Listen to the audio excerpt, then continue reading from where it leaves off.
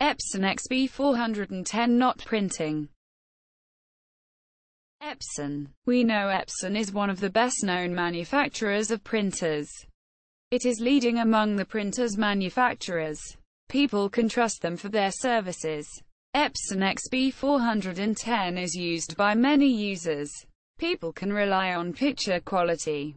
Epson XP410, not printing troubleshooting steps. Method 1. Perform a power cycle. 1. At first turn off your Epson printer. 2. Disconnect the energy twine from the wall outlet. 3. Then, reopen it through maintaining the power button for a minute. 4. Attach the power cord once more and join it on your device. 5. Power on each system and the Epson printer. Method 2. Slow printer. A slow-going for walks printer is one of the most common printer problems. A straightforward way to fire up your printer's general execution is to reduce the print decently or exchange the setting to draft mode. Method 3. Check your ink cartridge. A user must check the ink cartridge and refill the cartridge if required.